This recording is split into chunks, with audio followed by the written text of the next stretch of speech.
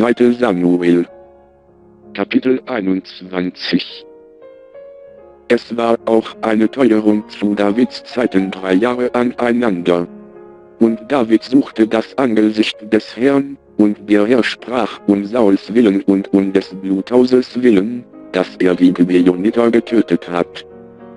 Da ließ der König die Gibeoniter rufen und sprach zu ihnen.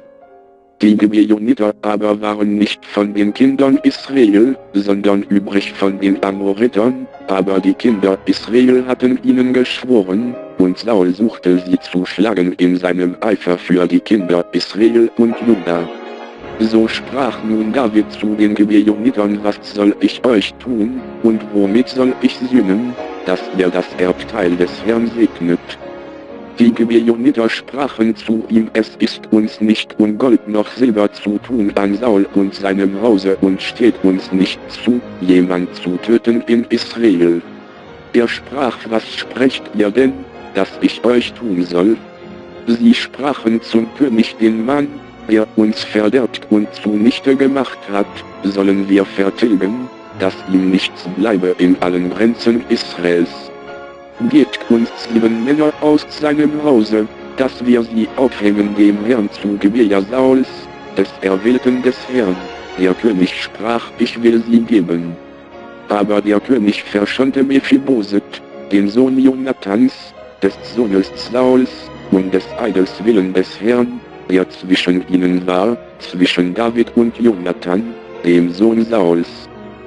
Aber die zwei Söhne Rizpas, der Tochter Ajas, die sie Saul geboren hatte, Ammoni und Mephiboset, dazu die fünf Söhne Merabs, der Tochter Sauls, die sie dem Adri geboren hatte, dem Sohn Basileis, des Meholatiters, nahm der König und gab sie in die Hand der Gibeoniter, die hingen sie auf dem Berge vor dem Herrn, also fielen diese sieben auf einmal und starben zur Zeit der ersten Ernte, wann die Gerstenernte angeht.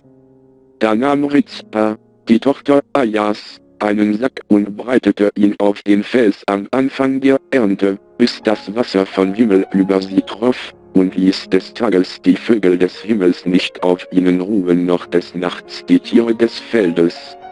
Und es war David angesagt, was Rizpa, die Tochter Ajas, Sauls Kebsweib, getan hatte. Und David ging hin und nahm die Gebeine Sauls und die Gebeine Jonathans, seines Sohnes, von den Bürgern zu Jabes in Gilead, die sie vom Platz am Tor Bethlehans gestohlen hatten, dahin sie die Philister gehängt hatten zu der Zeit, da die Philister Saul schlugen auf dem Berge Gilboa. Und brachte sie von daher auf.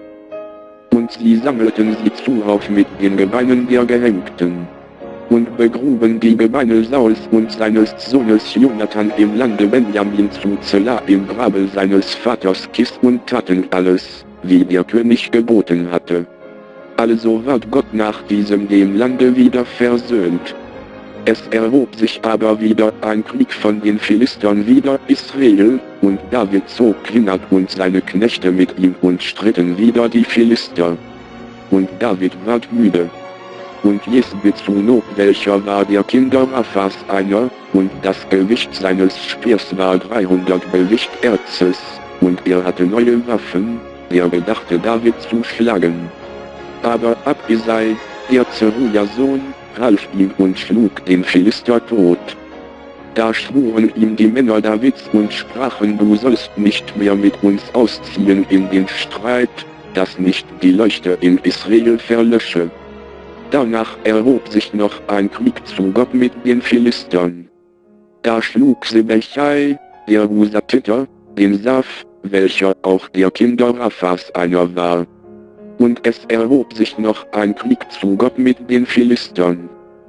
Da schlug Ilhanan, der Sohn Jereorgims, ein Bethlehemiter, den Goliath, den Gatiter, welcher hatte einen Spieß, des Stange war wie ein Weberbaum und es erhob sich noch ein Krieg zu Gott.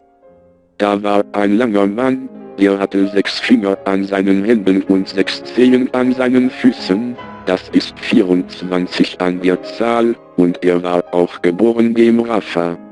Und da er Israel wohnt sprach, schlug ihn Jonathan, der Sohn Simeas, des Bruders Davids.